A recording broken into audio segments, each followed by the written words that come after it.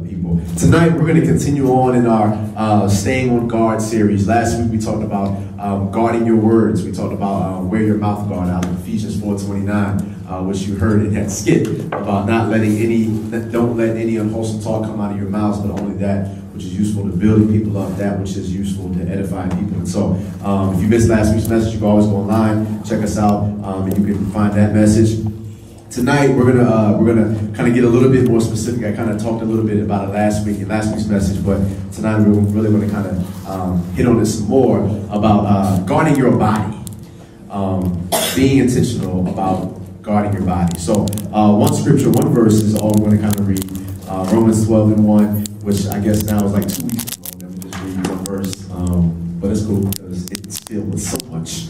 Um, Romans 12 1, and it may be a passage that a lot of us, uh, some of us rather, are familiar with, some of us may not be familiar with, uh, but nonetheless, I, I, believe that after tonight's done, we'll all be on one accord as it relates to um, what God is saying in the scripture. Romans 12, verse 1. And this is what it says. Therefore, I urge you, brothers, in view of God's mercy, to offer your bodies as living sacrifices, holy and pleasing to God. This is your spiritual act of worship. Therefore, I urge you, brothers, in view of God's mercy, to offer your bodies, everybody say bodies, bodies. to offer your bodies as living sacrifices, holy and pleasing to God. This is your spiritual act of worship. Tell the person beside you, whatever you do, whatever you do make, sure make sure you guard, you guard your, body. your body. You gotta say it like with some attitude. Your body. Your. Guard your body. Word. Uh, let's pray. Father, in Jesus' name, we just thank you, Lord, for um, everything that we have heard and seen thus far, Lord, for the worship that's gone forth, uh, for the skit ministry that we've seen, Lord God. And we pray um, that your word, uh, God, would also resonate in our hearts, Lord, so much to the point where we're not just hearers of your word, but we're also doers of your word. We thank you. We love you. In Jesus' name. And everybody said, Amen. Amen. Amen. Romans 12 1. Uh, I love this scripture because it, it really is one of the most important scriptures in all of the Bible because of what it really uh, really communicates. It communicates the whole essence of uh, who you and I have been created by God to be, which is simply to be people or instruments of worship. Uh, typically, when you get when we think of like instruments, we may think of piano, we may think of drums, we may think of violin, we may think of baritone, tuba, clarinet, whatever you play. You may be thinking of all of those different things, but all of those different things have a certain purpose, right? They have a certain purpose and they are used in a certain way to produce a certain sound. And if those things happen to have some type of a, um, a some type of uh, thing that happens to it per se that now kind of affects it from being able to operate properly, then now it is not able to do exactly what it was made and formed to do. Right? For instance, uh, how many of you guys have ever played violin, viola, cello? I mean, don't be ashamed. I played it. It's not wrong. Cool. Awesome. Right. For those of you guys who play the string instrument, you know that the minute you pluck the strings off of the instrument, it is no longer useful. It can't produce a sound. Right? Uh, the keys. You're playing a keyboard. If you take these keys off this keyboard, you cannot play the keyboard no more. It is no longer effective. It is no longer used or no longer able to produce what in fact it was designed by the originator to produce, which is a quality sound. Such is the same now with your body and my body. How many of you guys have seen The Bodyguard with Whitney Houston before? Y'all seen that movie? Don't don't be ashamed. Like, you seen it, fellas? Some of y'all seen it. Y'all ain't gonna tell nobody, but you seen it. Right? Right? Uh, so y'all seen The Bodyguard, man? Uh, that movie came out like like early '90s. It had Whitney Houston, uh, who who was passed on, passed on a few years ago, and then you have Kevin Costner, who was like an Academy Award-winning actor. And the whole premise of the movie is Kevin Costner. He plays like this secret agent guy, the CIA, CIA type agent, where now he is in charge of being a bodyguard for Whitney Houston's character. And Whitney Houston, she portrays this very well-known singer, this very popular singer, uh, who just absolutely has people and fans just flocking to her from this direction and the next. His role is to pretty much guard her body. Hence the reason bodyguard. like his role is to make sure that she is where she's supposed to be, that she's protected, that she's preserved. Like that is his job. You see this also when it comes like the President of the United States, Barack Obama. He has a just a fleet of people who surround him because they understand government, even though the government just had its little shutdown yesterday, but we're gonna pray for the government that they would get their stuff together so that way some of you guys who have parents in the military aren't affected any longer. But that's a whole other message, right? So pray, tell the person beside you, pray for the government. Yeah. Um, so president, he has all of these different type of people around him because their main responsibility is to preserve him. Because as they preserve him, they preserve the presidency. And if anything were to happen to him, it would now essentially throw off the order and the system in which things essentially flow. Yes, there may be a chain of command. Yes, there may be another person who's trying to take his, his spot in the event that something happens to him. But nonetheless, he is so important that he has people around him everywhere he goes. Like, he goes to the bathroom, they're standing outside. He goes to Five Guys, they're standing right inside. Right? He goes to play basketball, they're outside. Because it is very serious that we guard the President of the United States because he is that important. Now, when you begin to think about that, when you begin to think about that principle, think about it as well in relationship to who you are, like your body, and who God has created you to be. You were created for a certain purpose. That certain purpose is to glorify God. That certain purpose is to worship God. That certain purpose is to live for God, is to work for God, to serve God. The list goes on. But all in all, you were created for God. Tell the person beside you, you are for Him, not for yourself. That is what you and I are created for. When, he, when the Bible says in Genesis that he created man in his likeness and in his image, he created us so that way we would be a reflection of him. And so if we are to be a reflection of him, and ultimately our bodies, our minds, everything that we've been talking about over these past few weeks should model who he is. That's why Paul says, Philippians 2 5, let this mind be you that's also in Christ Jesus. Your attitude should be the same as that of Christ Jesus. Because if we have been created in the image of Christ Jesus, then now we should exemplify the image of Christ Jesus. That's why the Bible says that we are the image bearers of God. Does that make sense? Yes, no, maybe so. That makes sense? Hopefully it does. Right. So now, when we get all that understood, and when we have that fundamental understanding of that, let's contrast that now with today's culture. Because in today's culture, today's culture is all about flaunting your body. Right? Uh, you heard in the skit, they were gossiping about the young lady who had a little mini skirt or whatever type maybe. The skirt came right right here. That's not a skirt. I don't know what that is. Don't tell me. I don't want to know. Um, but but right, you heard that she had a little plunging neckline, as my mom would call it, where you can see just like everything, right? Showing everything but the Lord, right? And so like like now in our society, it's all about flaunting, right? Girls, I'm not just focusing on you because guys, it's the same thing, right? So you're swole, you're looking good, you've been in the gym, and you want to show that jank off, right? Like you want to go to the beach and you just want to walk around. You know what I'm saying? like, you know what I mean? Like, you ain't never wanted to walk around with your t-shirt off in your life, but now all of a sudden, because you benching 152 pounds compared to 150 pounds, now all of a sudden you feel small, right? It's no different, right? You see guys, it's, it's really bad because like it just happens just in normal day-to-day things. I was on my way uh, here earlier and I happened to see a guy just running up and down the street, running down the street. All he had was like some little, little, some mini little shorts on with no shirts and some Nike Frees on, right? Now, automatically, somebody would have fell the lust by looking at him.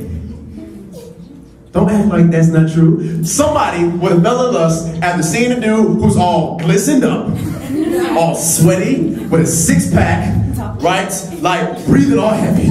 Like, you know what I'm saying? Like doing all this crazy stuff. Like, like you, you could be like super duper saved and spiritual all you want to and act like like you're just oblivious to everything that's around you, that you have your eyes so focused on the cross where you just got tunnel vision and you don't even have a clue what's going on around you. The devil is a liar right? Your flesh, though you have died to it, that jank is still alive. And if you and I are not careful, whether you are not engaged in seeing people who flaunt their body, or you and I are the ones who flaunt our body, it can lead to some serious and disastrous effects. Our culture is obsessed with flaunting body. Our culture is obsessed with the body. So this is why people will get all these different type of implants. This is why people will get cheek implants and, and, and, and nose changes and, and, and change the color of their eyes and, you know what I'm saying, like put some fake eyes in or something crazy like that. Like, like, like our culture is just really obsessed with, with, with the body, right? Like, like there's nothing wrong with studying the body. That's called anatomy. Oh my gosh, what in the world? I say biology. I'm not to say who that was. Uh, There's nothing wrong with studying the body for beneficial purposes.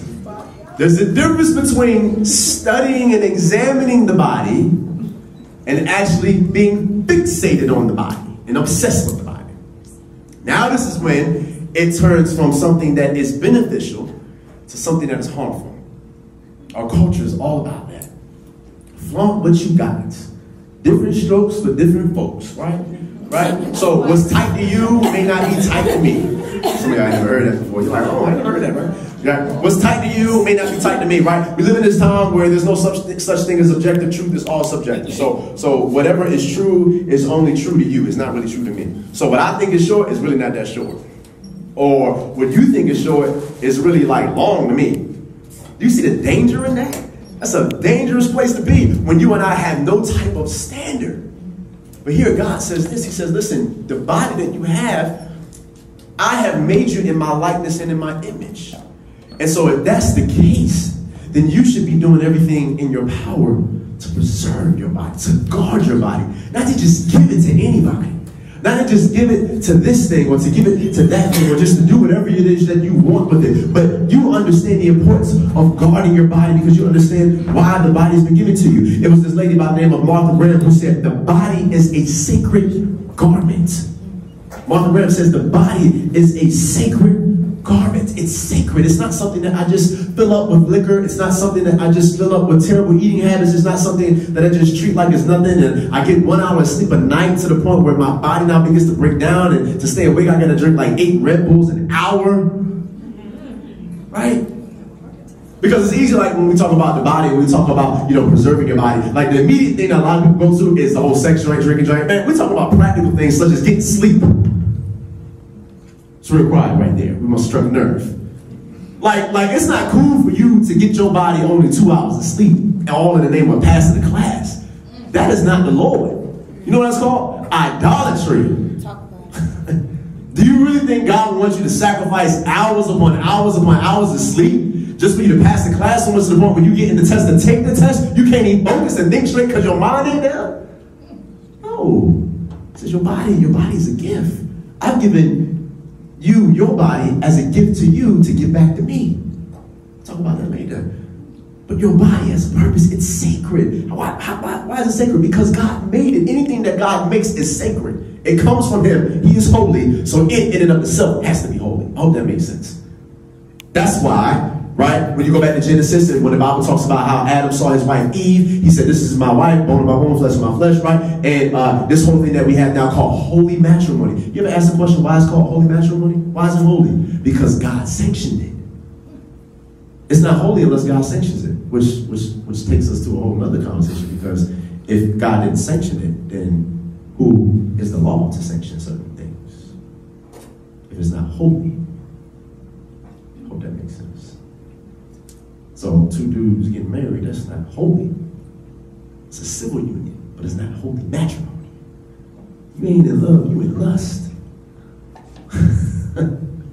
two women getting married, that's not that's not holy matrimony. There's nothing holy about that. But what our culture has done is diminished what holiness really is. But God says, listen, when it comes to you understanding who you are in me, when it comes to you understanding that you are a new creature in Christ, 2 Corinthians 5, you are now holy. Holy just simply means set apart. Holy means pure. You see that in this verse of Romans 12 and 1. That your body is to be holy, is to be set apart. It has a purpose. There's a certain thing that God has for it. And that's very tough in our culture because I said, as I said earlier, our culture thrives off of passion. Our culture thrives off of pleasure. You know what that's called? It's, it's what we know as hedonism which is the doctrine that pleasure or happiness is the sole or chief good in life. Yeah, a hedonist is a person who is obsessed with pleasing themselves. So whether that is through crazy living, whether that is through doing things like cutting their wrists, whether that is through having to date five or six people at a time just to feel better about themselves, that is a hedonist. God says, listen, the only thing I want you to take pleasure in is your relationship with me. That's the only thing that you need to take pleasure in. Here's the reason why because that's the only thing that you will find pleasure in. That's the only thing that you will find joy in. That's the only thing that you will find satisfaction in. As long as you continue to solicit your body to everything else but Him, you will quickly see how empty you are, how much void there is in your life. But the minute you make a decision to submit your body to the Lord in everything that you do, you will see that He is the pleasure that you've been looking for your entire life. So now you no longer are a hedonist, but you are what John Piper calls a Christian hedonist. To now where your pleasure is no longer in self, but your pleasure is in Christ. I hope that makes sense. Tell the person beside you, take pleasure in Christ. So, by the time you get to Romans chapter 12, verse 1, right, there's a word there, uh, and it starts off by saying, therefore. Am I say, therefore. Now, uh, you guys are pretty much smart. Any English majors in here? Anybody an English major? Right, awesome, great. So one of the things that they probably teach you, right, is when you look at, when you begin to read things, you got to look at the certain placement of certain words that are in certain sentences. So when this sentence and some of your translation starts off by saying, therefore, you have to ask the question, well, what's the therefore, therefore? It's, am I telling the truth, right? Yeah, yeah, you got, yeah, yeah. You got to ask questions, right? What's the therefore there for? Why is it there? So the therefore means that Paul is connecting what he's about to say to something that he just said. And in order for you to appreciate what he's about to say, you got to be able to have a full understanding of what he just said. So what did he say? Let's go back to verses uh, 33 through 36. In those verses, you begin to see uh, these verses, they're called what theologians call a doxology which is simply a fancy word for an expression of praise. So when you look at verse 33 to 36, it says, Oh, the depth of the riches of the wisdom and knowledge of God, how unsearchable his judgments and his paths beyond tracing out. Who has known the mind of the Lord, or who has ever been his counselor? Who has ever given to God that sent that God should repay him? For from him and through him and to him are all things. To him be the glory forever. Amen. I don't know about you, man. That right there gets me hyped. Especially verse 36. For from him and through him and to him are all things. You know what that simply means? Everything belongs to him. That's why the Bible says the earth is the Lord's and the fullness or everything or everyone that is in it, which simply means like, um, last time I checked, we live on earth, right? And if the earth is the Lord's and everything that's in it, then if we're on the earth and the earth is his, then that means we are his. Right? This campus is the government, as crazy as they may be, is. Because he's in control of it. It may not look like it, but he sure enough is. He's working all things out for the good of those. All things don't mean good things. Sometimes it means good and bad, but it's all working together for one big, great, gigantic, good purpose. And you may not see it right now. Hence the reason why the Bible said the Bible says that weeping may endure for a night, but joy comes in the morning, and that He will give me beauty for ashes. That means that something had to die, something had to be burned. There had to be some type of a destroying thing that took place in order for something to be resurrected. You see that all throughout Scripture. Matter of fact, you see it with Jesus. Because before Sunday can come and before we can shout about the resurrection, before we can shout about the fact that we have a risen Lord and we have been raised to life in Christ, we got to first talk about the fact that He died. The only way you can be raised back to life is you had to die. We don't like to shout about that. Because the dying means that we lose something. God's like, yeah, you might lose something, but you gain something so much more. You gain this new life, you gain this new joy. Gain this new happiness. You gain this thing that you've been longing for, that you've been searching for, that you've been praying for, that you've been losing sleep over year after year, day after day, month after month, week after week. Everything that you've been looking for is ultimately found in Him. So when Paul goes all the way back to verses 33 to 36 in Romans 11, and even further when you go back to like chapter 5, he says, The reason why I'm saying, therefore, offer your bodies as living sacrifices is because Romans 5 and 8, the Bible says this God demonstrates His own love for us in this that while we were yet sinners, Christ died for us. So now, watch this. So he says this in Romans 5 and 8. While we were yet sinners, Christ died for us. Therefore, offer your body as a living sacrifice. Here's what I love about God. God never expects you and I to do something that he has not already done. You know the reason why he can say offer your body as a living sacrifice? Because he did it through Jesus. And so if he offered himself as a living sacrifice, now, you and I, who are supposed to be in him, are now called to do the same thing for him. I hope that makes sense. So, as he offered himself up for us, we now offer up ourselves for him as a living sacrifice. That's what ultimately, ultimately what Paul says. He says, the hearers of this word, the people who congregate around this word, those who have made a profession of faith and a confession, acknowledging the fact that Jesus was is Lord, was Lord, will always be Lord. The fact that He died on the cross for the penalty of your sins, the fact that He died on a Friday, He rose on a Sunday morning, so that way you and I would be raised to life. Let me help you understand something. There's a lot of dead people walking around on this campus right now. They just don't realize it. You were dead and didn't realize it.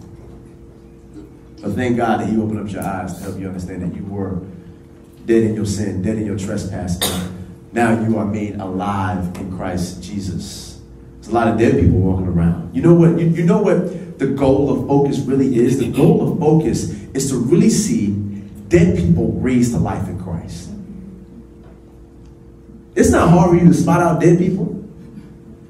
Look at their lives. Look, listen to conversations. Look at what they do with their body. It's a whole lot of dead people around this campus, just walking around. Matter of fact, y'all seen that show, The Walking Dead on AMC? That joint is just like that. The Walking Dead. Just, just breathing to death. Breathing till death. and you, with your sanctified, holy self, who have been raised to life in Christ, won't even open up your mouth to share with them the thing that can cause them to come out of the grave of sin, out of the tomb of sin, to a new life in Christ. What in the world? How arrogant, how pompous, how uh, conceited, shallow, and shy, and selfish can I be? To where I won't even share. That's the equivalent of you having the antidote to somebody's sickness, but you holding on, you holding on to it just because you don't want to step outside your comfort zone because you're scared that they may say they don't want it. Mm. Really? Are you sure you want to do that? Because what if somebody would have did that for you? Mm-hmm. What if somebody, you know, they don't look like they want to get better? Mm-hmm. mm-hmm. I'm going to just pray that they get better. Right? That's what a lot of times we oftentimes hide behind. I'm going to just pray for them. I'm going to pray that they get better. But God has put you in, a life in their life to be the antidote for them to be better. But what we do, instead of using our bodies, going back to what Paul says, offering our bodies a living sacrifice, instead of us using our bodies and making ourselves available to people, we just sit back and watch them die and just get slaughtered by the enemy. In order for me to sit back and judge somebody and condemn somebody for the sinful lifestyle and the recklessness that may be going on in their life and the ratchetness that they may be engaging in, you know what that means? That means you have not come fully into a full understanding of what God has done for you and how much He's forgiven you of. Because if you did and I did, we would be compelled to go share that with somebody else. That's why Paul is so adamant. He says, Therefore, I urge you. Urge is a strong word. It simply means I beg you, I strongly encourage you, I'm pushing you off your bodies a living sacrifice. Why? Because after everything that God has done in, in chapters 1 through 11, what else does he need to show me? What else does he just gave me hundreds of verses up to this point.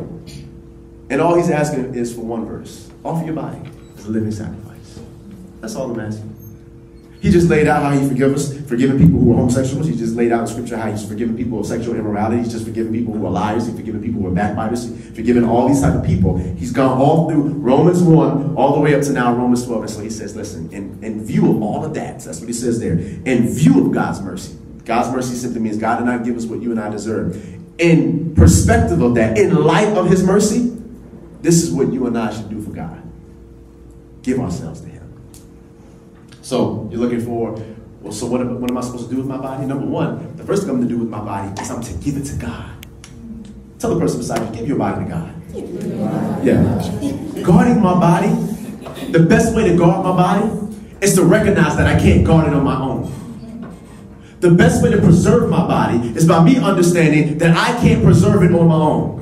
The best way to keep my body pure is by me recognizing that on my own I cannot do this. How many of you guys have ever in here said that you were not going to do something with your body, but you actually did it anyway? I'm not trying to get you to go down some nasty path of memories. I'm talking about simple stuff like, yo, you said I'm not going to eat sweet stuff, and you did it anyway. Right? Right? You said, you know what? I'm not going to eat any more Chick-fil-A. I've been going hard all week long. I've been swiping the mess out of my car so much to the point where that drink don't even work no more. I'm going to have some self-control and some discipline but you did it anyway. Paul says, listen, you cannot control your body on your own. The only way it can be under control is by submitting it to the Lord. Give your body to God. That's what Paul is saying here. He says, offer your bodies. I love what he says here. Offer it. Offer it, which simply means it's a choice. God's not making me do this. He says, offer it. And the reason why he can use, it's, it's amazing how he goes from saying something so strong like, I urge you, to something so soft like, offer. It's amazing. Because he says, in view of God's mercy, that's where all the weight is. And so now the offering is just simply the byproduct of what he's done for me. So it's like, you know what? So you say that you have received the mercy of God, you've experienced the love of Christ. Offer your body, prove it to him. Show everybody that you really are a recipient of his grace. Live it out. Walk it out. Don't just walk it out amongst your Christian friends. It's easy to do that. It's easy to be like, yo, I read, I read this in such and such scripture, and you know what I'm saying? The Lord is just speaking this to me, and, and God and God is just leading me to fast and pray and do all this type of stuff and just walk around the line seven times, just praying that all of a sudden grades are gonna go from the grade from an F to an A. Like you can say all that spiritual hocus pocus stuff all you want to. But if you're not putting it into action, then it doesn't matter. That's what you saw in the skit. She heard the word, Right? Ephesians 4.29, she was excited about it. She stood to her feet. She said, I want the spirits. like super duper excited, super duper amped up. But then when the rubber really hit the road, she got pulled in by the conversation. So instead of using her body for righteousness in that moment, she used it for wickedness to tear down. It's, it, it is so easy. It is so easy to wreck Christ in here. It's so easy to sing Hillsong songs in here. Right? That's awesome. Nothing wrong with that. Do that. That's the purpose of corporate worship and corporate fellowship. Can you do that in your room amongst people who are trifling, amongst people who are crazy, amongst people who they ate all your food and lied to your face that they did not? Can you still do that then? That's me offering my body as a living sacrifice. That's, that's, that's ultimately what it's about. It's a sacrifice. You know what that means? It simply means it's requiring something greater of me than I actually want to give. It's not a sacrifice if it's easy for me to give. Like, like if I give you a dollar and I get a million, that's not a sacrifice. Yo, man, I just want to bless you, man. You know what I'm saying? Like, the Lord just laid this on my heart just to give you a dollar. The person might be like, man, yo, this ain't, man, oh, man, this is awesome. Man, I appreciate you sacrificing. You ain't sacrificing nothing. I a drop in a bucket. That's nothing, man. And though that person may not see your heart, God does. He's like, man, I ain't blessing that. Because that's not a sacrifice for you. The sacrifice is when you do the reverse. You need a dollar? I give you 999,000. Some of y'all like, mm-hmm. That's a sacrifice. Because now you have depleted everything of you. Let me help you understand something. In the Old Testament, when Paul talks about this, you got to understand the Old Testament reference. The Old Testament reference was in the Old Testament days, in order for uh, payment for sin to be, to, for, in order for payment to sin to take place, something had to die. There had to be a sacrifice that was offered, offered up. Here's the reason why by the time you get to the New Testament, Jesus is called the perfect Lamb of God. He was sacrificed. He laid his life down. He spilled out his own blood. In the Old Testament, what God would do, he says, in order for sin to be atoned for, something has to die. And he could have easily made a person die, but he was like, listen, you know what? Moses, instead of punishing you, I'm going to punish the animal.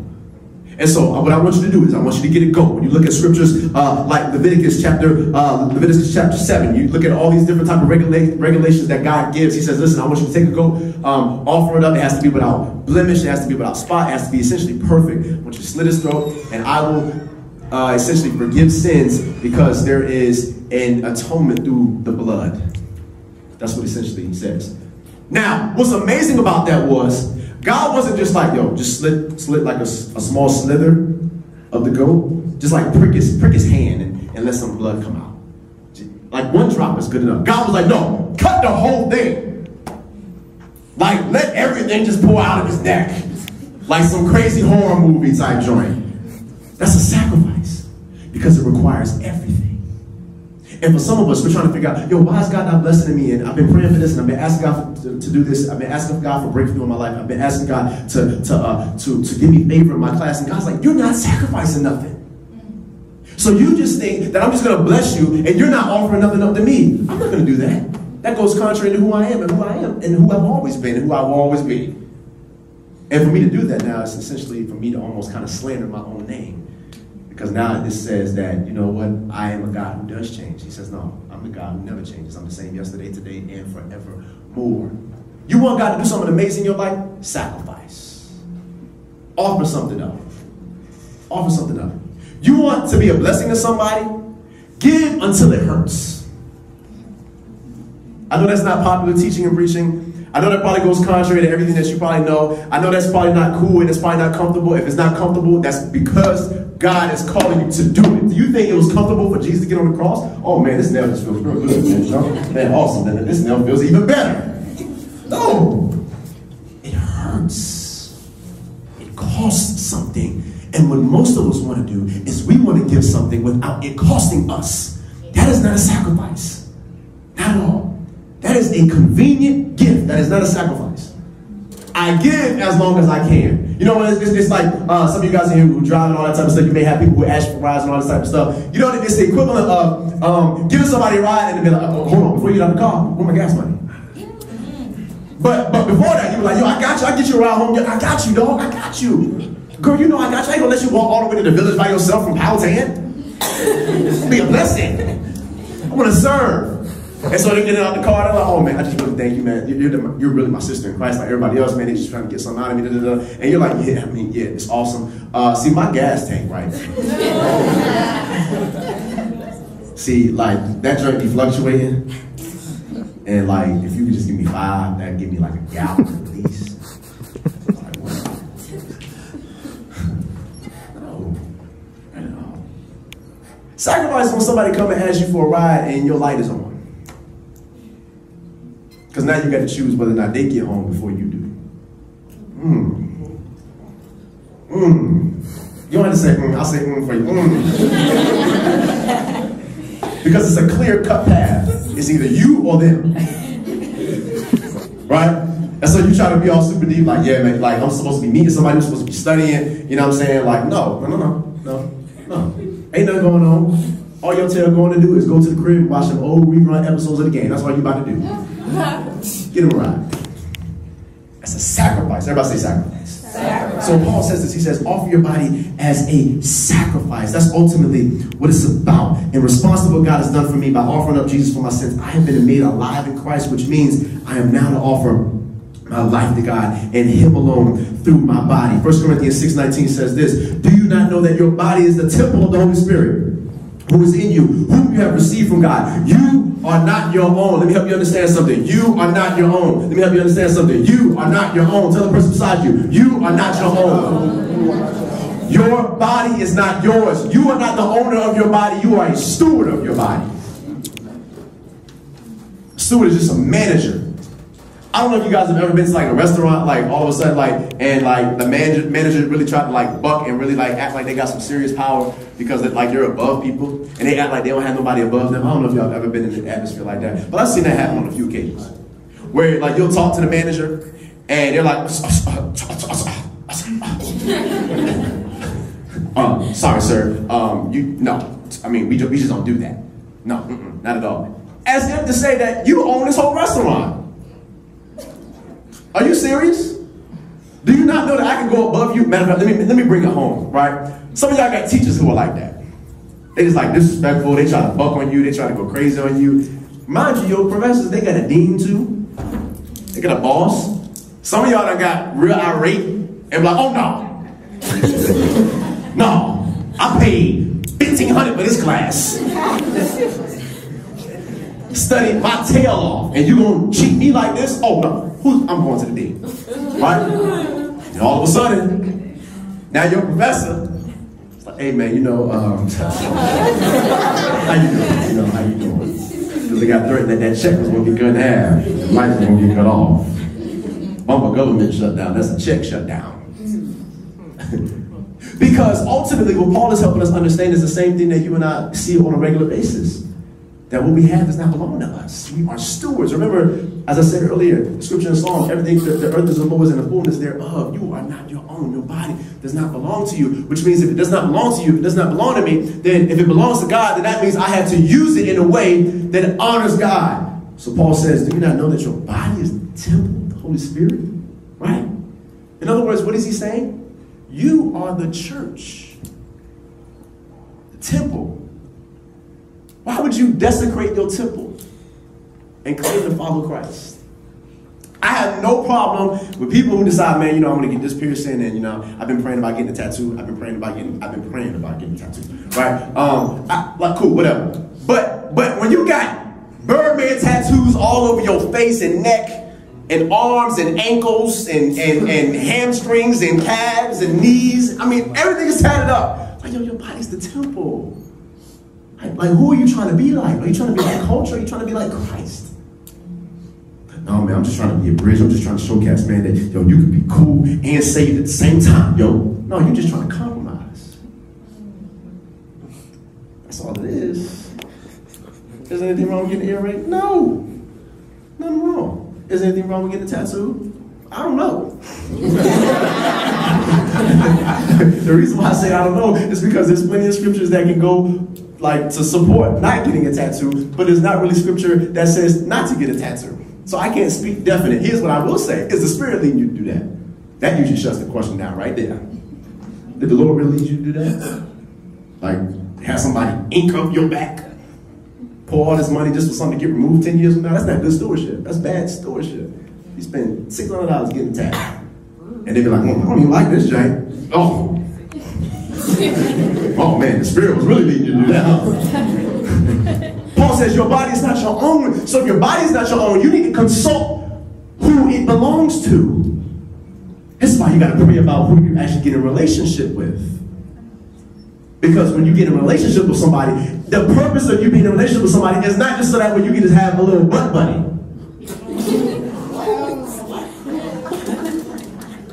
Let me let, let, me contextualize some of y'all. The purpose of you having a relationship is not so that way you can have somebody who's a friend with benefits. Say it like that. That's that's not, not the purpose.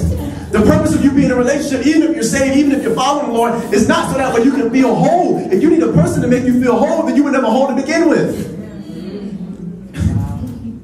That's why Jesus comes in. He says, Listen, man, I come to make you whole again. He said that to plenty of people. Lady with the issue of blood, make you whole again. Samaritan woman at the well had numerous relationships. Similar, pretty much an adulterous lifestyle. Jesus is like, listen, you don't need that no more. You need me. What happened? She left her life of sin and went and told everybody about her. Your body is not your own, so if that's the case, that means I gotta consult the one who I belong to. I promise you, we would probably pray about relationships, probably wouldn't have a whole lot of broken hearts. Probably wouldn't have a whole lot of divorces. Probably wouldn't have a whole lot of STDs. Probably wouldn't be a whole lot of breakout of AIDS, man. I don't know, I don't want to scare you guys, but but but this area, Norfolk, Norfolk, is considered to be one of the highest concentrated areas for STDs and AIDS. Hmm. I'm not going to press that anymore. I'm just to let that marinate. So the next time, right, you, you have this R. Kelly moment where your mind is telling you no, but but your body. I, I want you to go back. I, I want you to go back. Yo, hold on. Pastor Elmo said that STDs are high as Norfolk. And I don't know if this person has one.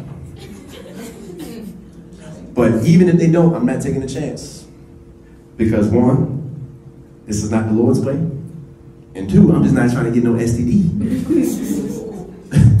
Some of y'all know people who got STDs. Some of y'all know people who got AIDS. Right? You know people. You've seen just how the enemy just runs rampant. And and And unfortunately, maybe some of us are even in that path. Here's the good news, even if you are, because I never want to say something that's like really shocking, but not give you the good news and not give you the, the grace in this. The awesome thing is, even if you happen to be in this particular state, even if you have this particular issue in your life, you may have an STD, you, you, you may have some type of a disease or whatever the case may be because of sexual immorality, whatever the case may be. The awesome thing is this there is nothing that is more powerful than the blood of Christ. And when he says that I will make you into a new creature, into a new person, that is the truth. Yeah. That is the truth. When he says that he is a healer, that means he can heal. When he says that he can deliver, that means he will deliver. Will he always deliver? I can't say that he will. Will he always heal? I can't say that he will. Why can't you say that? Because his thoughts are higher than mine. His ways are higher than mine. So even when I think is good, it's not good enough compared to him. So if he doesn't heal, that simply means because there was something better than he had.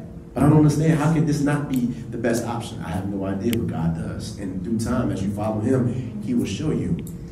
But you never have to worry about that if you would remember to guard your body, that, that your body is ultimately to be given to God. 1 Corinthians 6.13, in that same chapter, he says this, Paul says this, he says, food for the stomach and stomach for food, but God will destroy them both. The body is not meant for sexual immorality, but for the Lord, and the Lord for the body was made for the Lord. My body was made for the Lord. I promise you, if we would go out of this room sharing this message with people, you would see less people getting pregnant, having babies, having to drop out of school. You would see less people at the health clinic having to get shots you would see less people having to leave school or having to get a job to go support themselves because they have a condition now that they have to take care of. You would see less of that. You have the antidote. Tell people, yo, your body is not your own, man. Tell them, share with them. In grace, in love. Don't just go buck on them. Hey, yo, get out the bed. what you doing? Nobody, nobody don't belong to him. First of all, um, why, why, why would you even around. Like, confused by that. Sorry, that was an ever moment right there. I think, like, what, are you, what are you doing? Why are you, why are you there? Your body's not yours. That's what Paul says. Offer your body as a living sacrifice. Your body belongs to the Lord. He created you for Him. See, we, in this hedonistic culture, we believe that everything is for our pleasure and our enjoyment. God did not put us here for our enjoyment. He did not make you for your enjoyment. He made you for his pleasure. And he made you more importantly so that way you can enjoy him. Here's the byproduct when you enjoy him. When you enjoy him, you will enjoy whoever God sends your way in holy matrimony. That's the benefit and the byproduct. But you can't get the byproduct without first going through the process. See, a lot of us just, I mean, you know people that just want to play house. Some of y'all get that later. Like, like you just, you know people who, like, like, I just want you to play my boyfriend. Like, be, be my girl. Check yes, check no, maybe, whatever. Listen, let's just do whatever we want. And if you're not careful, you'll get so caught up in that. Your body does not belong to you. You are a steward over it, which means God has called you to manage it. He's called you to be a good steward over it. that means I gotta get rest. That means I gotta be just, I gotta, I gotta eat healthy. I'm not saying that you gotta go on some crazy vegan diet where you just eat only things that come from the ground and not animal products. I'm not saying go that far. Y'all ever think about this is side note question. I mean, you know, this is this is something that we think about, right? you know, people have this vegan diet. I'm, I'm, not even knocking it. Like, hey, man, this is what the Lord's leading you to do. Awesome. Amen. God led Jesus not to eat for 40 days, so I'm not even going to say what he's leading you to do. But here's what I want to argue. I want to argue your rationale. So people be like, yo, um, I'm on a vegan diet because we don't want to eat any type of animal products because we don't want to kill any animals. Cool. I, I'm with that. I'm down.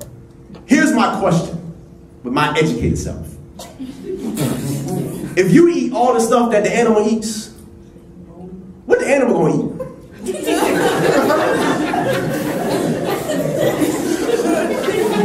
right? Eventually, if you eating all the stuff that the animal eat, the animal's gonna start dying. Right? Don't tell me I want the only one who ever? It's just some food thought, you know what I'm saying? It's just some food thought, right? It's. So that, that was my little soapbox moment. I'm back. Okay, cool. So here's what I'm saying though. Your body is the Lord, so that means you need to be a good steward over that. So what you put in your body, what you consume, the rest that you get the environment that you're around, uh, habits like smoking and drinking. Um, some, of, some of us may ask the question, well, you know, the Bible doesn't say not to drink. The Bible doesn't say to drink. So I can't use that. But anything now that can corrode my body, I don't want to engage in that. I'm not saying don't eat ice cream. I'm not saying don't go don't, don't go get like a little Shirley Temple, a little mix between Sprite and some strawberry grenadine, whatever the case may be. I'm not saying that. I'm not saying go to Tropical Smoothie and not get a paradise uh, or paradise point or pomegranate plunge with kiwi with no banana. That's what I like to get. I'm not saying don't do that. I'm saying yes, it's cool. Enjoy those things, but be mindful. Mindful of your body. Of what you consume. Right? God was so serious about this and so serious, which is the second point, about understanding that my body is to be pure. That's why he says holy. Holy in the Greek simply means pure or set apart. That's what he says here in Romans 12 and 1. God was so serious about the purity of his people in the Old Testament, the Israelite people, that he gave dietary regulations for what they were to eat. So he would say things like this in, in, in Leviticus chapter 7. He would say stuff like, do not eat this particular animal, do not eat the fat of the animal, do not eat the blood of the animal, don't eat things like a bat. Like, hold on, man. You gotta tell me not to eat a bat. Something's wrong.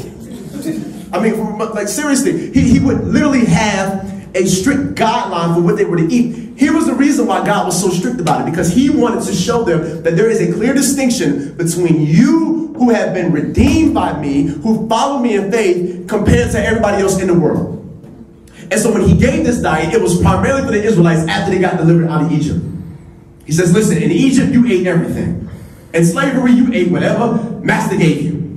Now that you are free, we're no longer to eat like we're slaves. The problem maybe with some of us is we say we're free, but we still live as slaves. Like, like you still want the slave lifestyle with, with, with the freedom of somebody who's been free. God says, no. He was so serious about the purity of his people he gave strict dietary laws. Now, does that apply for today? No, not at all. Because later on in scripture, you see Paul even writes here in the same book of Romans, he says that everything should be received with thanksgiving unto God. So whether it's meat, whether it's chicken, tropical smoothie, Chick-fil-A, pizza, give God thanks for it because it came from God. Because now it's not, my sanctity is not based upon external things. My sanctity is based upon what God has done for me internally and in, in, in the spiritual. But my body is to be pure, which means I don't need to be doing things that defile my body. 1 Corinthians 6, that same chapter, in verse 12, he says, Everything is permissible for me, but not everything is beneficial, which means I can't do everything I see done. I can't engage in every activity I see done. I can't just do everything just because it feels good. No, not at all. Because now that means that my body is my master as opposed to the Lord being the master. Now I'm following what my flesh wants and what I desire as opposed to what the Spirit wants. And we've seen this happen plenty of times in our own lives, and I will promise you that it probably did not end on a good note. You probably felt terrible about it. How many of you guys have ever overeaten in here before? Everybody's hands should go up. Don't be like you ain't never overeaten. You've overeaten before. Right? Like your eyes got bigger than your stomach essentially. Like you, you just ate and ate and ate. Like it's like you got a tapeworm. You know what I'm saying? Like you just you just eat whatever you see. And you probably felt bad after it. I'm not talking about like, oh man, I shouldn't have ate all that. No, you feel it here. Like, like you ate too much of that. you ate too much of this cat food, and this thing ran right through your tail. So much to the point, I'm gonna stop because my mind is going elsewhere. Like, I just had a picture of Lysol and and uh, and told the people that just ran out, right? You know what I'm saying? Like, y'all can act like y'all ain't never, you can act like you ain't never been there, but you've been there before. When you overeat and you pay the consequences for it. Right? You ain't paid the consequences for it. You may have stomach flu, you may have been thrown up all night, all day, whatever the case may be. Because ultimately what happens is when you begin to overindulge in things that may be good for you, but in too much is bad for you, Paul essentially says everything may be permissible, which means you can do anything that you want. But the question got to ask is, how does it benefit me? How does this build me up? How does this grow me now in my relationship with the Lord? Here's the question that you can ask. Why, why do I have to do this? Because Ephesians 4.22 says this, put off your old self, which is being corrupted by its deceitful desires by its deceitful desires. Take off your old garment of clothing, your old way of living, your old way of thinking, your old way of offering your body up to this world, letting the world just run rampant through your life. So whatever drink the world offers you, you take it. Whatever party the world offers you, you're there, you're there twerking. Uh, whatever person that the world has to offer, you get with them. God's like, listen, be free from that. Take that off. Put on your new self in Christ. And you no longer have to be a slave to what you feel. But now bring your body into subjection to the will of God. That's guarding your body. Guarding my body, lastly, is all about me understanding that my body is to be used for God's purpose and His pleasure. That's what it's all always about. That's why he says later on here in the scripture, pleasing to God. This is your spiritual act of worship. And I want to close with this. The purpose of your body is simply to worship God and to honor God. Spiritual act of worship. That means now in everything that I do, I look at everything that I do as worship unto the Lord.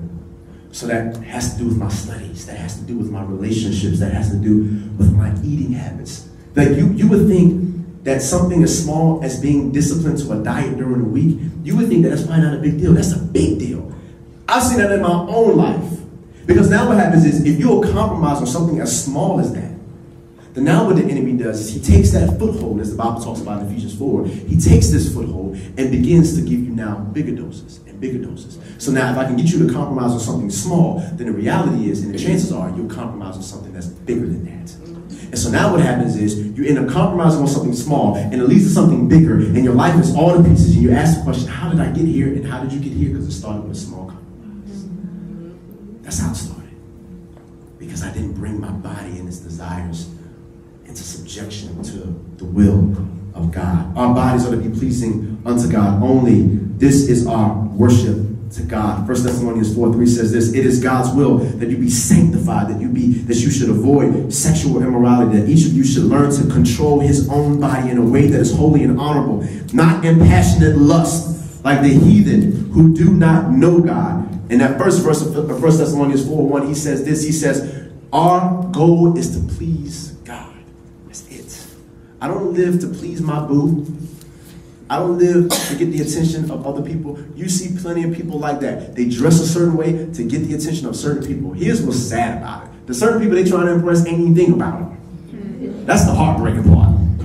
Like Kessler got all dressed up for Webb Center, you know what I'm saying? Like, like they done put perfume on and cologne on and got a fresh fitted cap and, and, and got some fresh hair because they went down to the, to the store and, and, and just slapped it on and you know what I'm saying? And because they knew that such and such from the Qs or the Alphas were gonna be there party hopping, doing their thing. And they say, yo, if I just get a seat up in Webb Center on one of those high chairs and if I just cross my legs like this or something like that, then somebody who's party hopping may see me do a double take and then I may get the attention. But then you find out quickly and, and at the expense of your heart that they won't even think about you.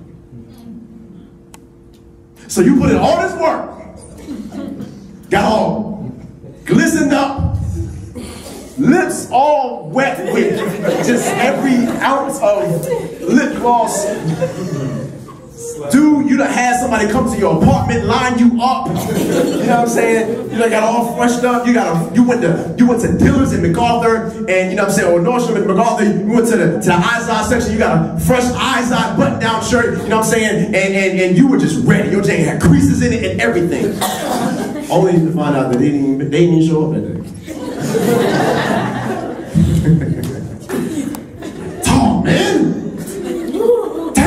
wasted a good outfit. How many of you guys have ever had things like that? Right? Dang, man, I should have worn this tonight. right. Okay, come back, come back, come back, come back. Right. So, the whole goal, Paul says here, is to please God. That's it. So now when I get dressed, I should not have a person in mind. I should not have a dude in mind. Right? Now, I'm gonna, I'm, gonna, I'm gonna say right there because this is real. Because I believe a lot of us need to be delivered from that. Because when you get dressed, when you look in the mirror, you think of what somebody may think of you. This determines how much, how many layers of makeup you put on. You just keep piling it on, right? this determines how small you want to get. So you do 100 push-ups before you go to Wednesday, before you put a shirt on, because you want to look super duper diesel. like what shoes you're gonna wear today, and, and, and how, how, how you press your pants and all this type of stuff. You have a person in mind. And God's saying the only person you, be, you should be thinking about pleasing is me. So the question you should be asking is, what, is this too low, God? Yes. Yes. I'm changing it. I don't want to, but I will. God, is, is, is this is, is, is what I'm wearing as a guy, is this is this something that can cause somebody to fall in lust? Is, is this pleasing to you? That's the question you and I have to ask every day. God, is this pleasing to you? Are my study habits, are they pleasing to you? Is, does my diet, is it pleasing to you? Do, do I just eat whatever I see? You know, just, go to the pod and just eat whatever. You know? and then you in the nurse's office because your blood pressure all jacked up. You know what I'm saying?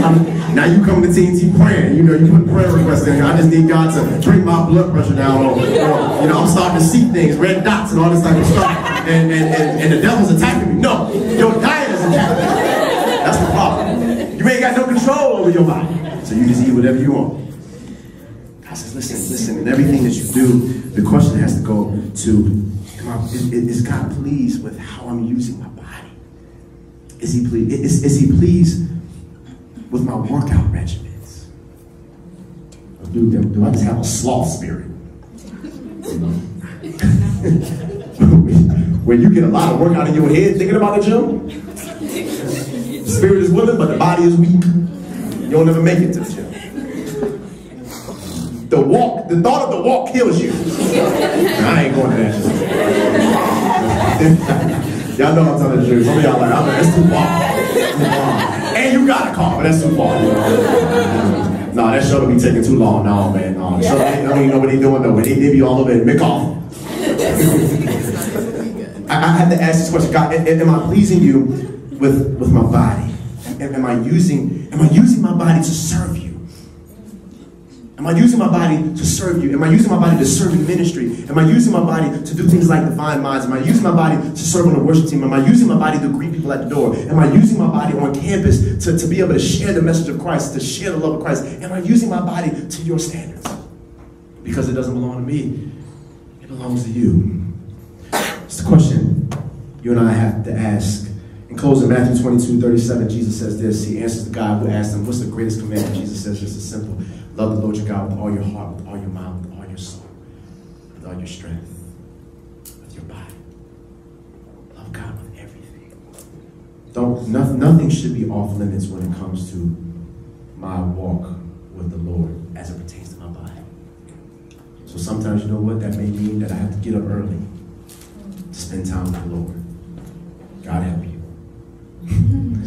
sometimes yeah, that may mean I may have to sacrifice watching TV to, to, to, put a little bit of extra study time, whether it's of my word or, or for my class. That, yeah, I, I, need to get in the gym, man. Like, I weigh too much. That's, I mean, that's real talk. Like, for real. Like, I'm, I'm kind of like obese. I'm, I'm obese at this age, you know. And it don't help that you got some stuff running in your family that are taking people out but you think you're invincible because you're in college? Cats fall out every day. God said, listen, honor me with, with your body. Honor me with your body. This is your spiritual act of worship. Worship is not about you just coming here lifting up holy hands and you singing your song.